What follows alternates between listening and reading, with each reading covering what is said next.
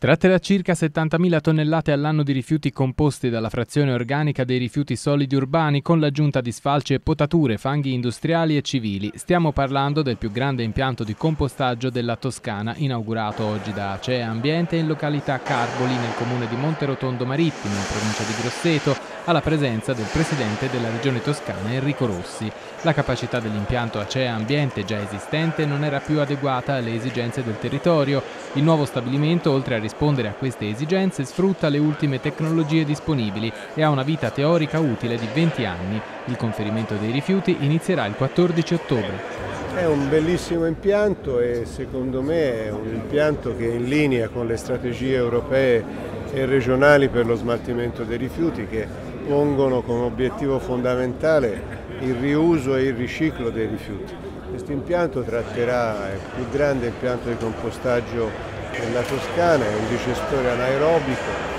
che tratterà rifiuti di provenienza urbana, la parte umida dei rifiuti, eh, organic, organica, rifiuti da sfalci e da deforestazioni, da interventi sugli alberi